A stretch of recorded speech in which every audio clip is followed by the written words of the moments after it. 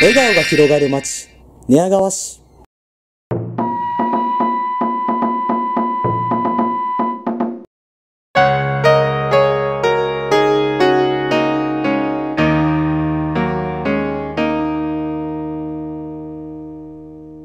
張りが利くということで、使えるもの、利用できるものは何でも使ってやろうという、そういう発想だと思いますね。